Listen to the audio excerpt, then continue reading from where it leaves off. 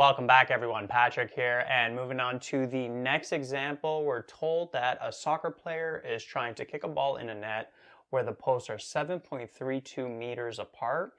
From where the player is, one post is 12.8 meters away and the other is 13.4 meters away. Within what angle must the ball be kicked in order for the player to score? So another trigonometry word problem. So let's start off with the diagram. Basically what's happening is, let's say we have a soccer player here. They are kicking a ball and they're trying to get it within the net. And let's say those are the two goal posts of the net right there. And we're told that the posts are 7.32 meters away. Okay, so this here, this net, has a width of 7.32 meters. So the ball has to go within these posts in order for the player to score. And then we're told that from where the player is, one of the posts is 13.4 meters away. So let's say this is 13.4 meters. And then the other post is 12.8 meters, like that. Okay, and so what they're asking is within, uh, within what angle must the ball be kicked in order for the player to score. So basically, right here, this is the angle that we would be solving with, right? Because if the ball is kicked within this angle over here, then the ball is going to go within the post. If it's kicked outside of that angle, right, if the ball is kicked like this way, then it's going to miss the net. Okay, so that's what they're asking for. They're asking for this angle right here. So notice that we have a triangle here. We got three sides of it and we're solving for an angle. We don't know what the other two angles are. And so to do that, we would use the cosine law.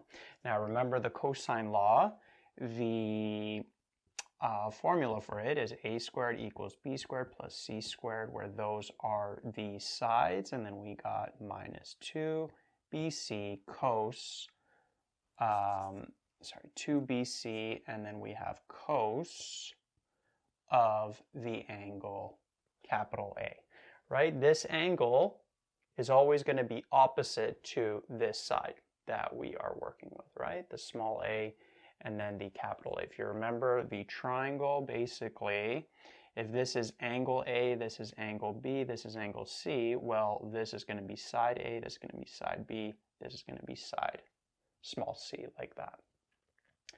Okay, so if we're dealing with this, we're solving for this angle here, then we know that this A, like pretend that this theta is this capital A, then we know that the opposite side, this 7.32, has to go here, right? And then the B and the C would be these two. So this would be like side A, this would be angle A, and then it doesn't matter whether this is B or C, they're interchangeable, right?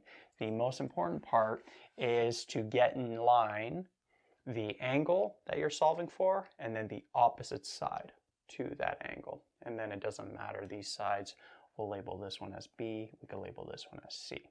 So we can then say, okay, 7.32 squared equals B squared, which is the 13.4 squared, plus the c squared, which is 12.8 squared, then we'll have minus 2 times the b, which is 13.4, times the c, which is 12.8, and then we are solving for that theta right there.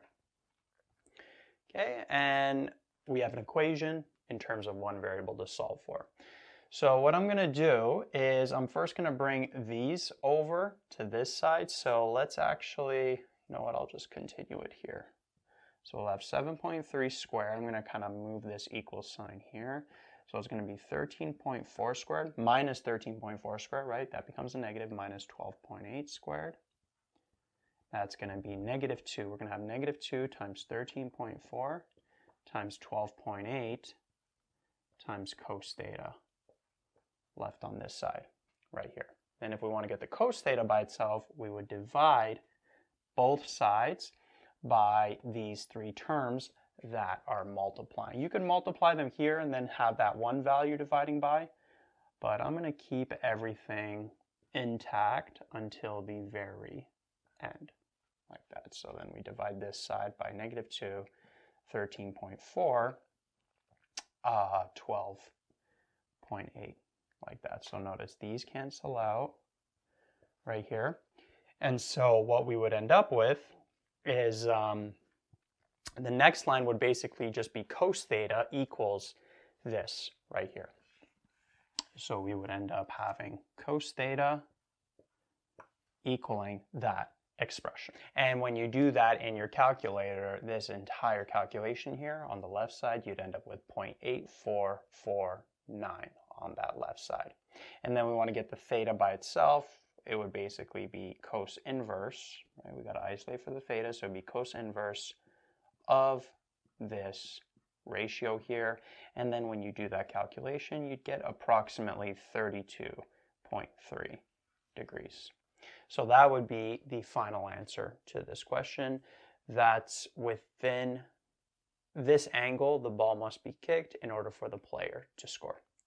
Okay, so I feel like the toughest part is just coming up with the diagram, understanding what's going on, come up with the diagram, then you're just dealing with a regular triangle where you are solving for that angle using the cosine law.